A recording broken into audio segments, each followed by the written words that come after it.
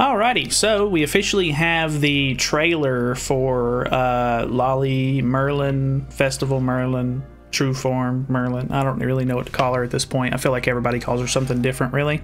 But uh, yeah, uh, she's here, uh, I guess, with the trailer dropping on Thursday.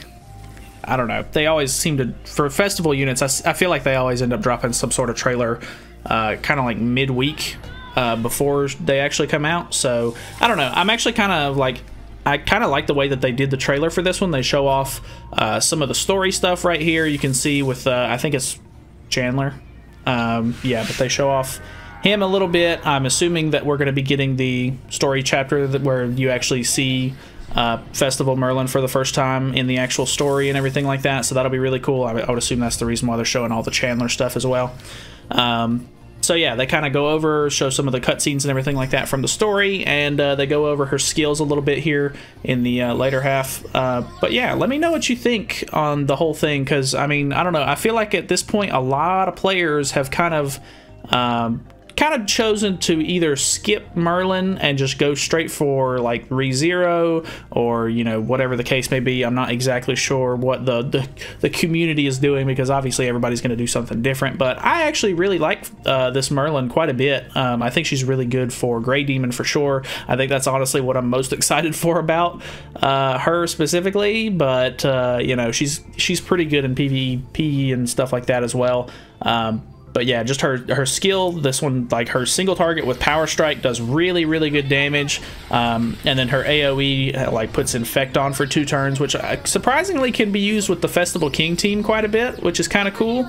Um, so I think that's really neat and then her ultimate is uh, pretty cool. Honestly, just her design in general, like with the skills and stuff like that, I feel like they did a really good job with her. Um, which I don't know. I guess for most people, like this specific form of Merlin probably isn't the most hype thing you've ever seen. I guess, but uh, I don't know. I feel like they did a really good job on her. So uh, let me know what your sort of opinions are for it, because obviously we pretty much knew that she was coming at this point anyway. Um, I feel like if you kind of keep up to date with stuff behind the scenes or just on the forums or kind of know how this whole thing works as far as like JP and Korea and Global goes, uh, you pretty much already knew she was coming. But I guess this is just confirmation for people who don't really keep up with that kind of stuff. So uh, yeah, I'm pretty excited for it. I know uh, maybe not everybody is, but I don't know. If not, I mean, it's just going to be another month worth of uh, maybe saving. So uh, yeah, that's kind of cool, I guess. I'm really interested to see who the who we end up getting for the like half uh, festival celebration banner because obviously we don't. Uh, or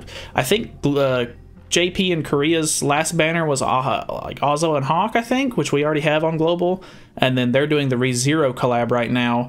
So I don't know if they're going to end up releasing another banner, and we'll get that banner as our half anniversary, or not half anniversary, but half festival banner, or what the case is there. We'll have to see. But uh, yeah, I'm pretty excited for this one. I don't know why, but I just I festival units are always kind of hype, no matter what they are. So uh, yeah. Anyways, thanks so much for watching. I'll see you guys in the next one uh, feel free to subscribe and all that stuff. So, uh, yeah, see you later.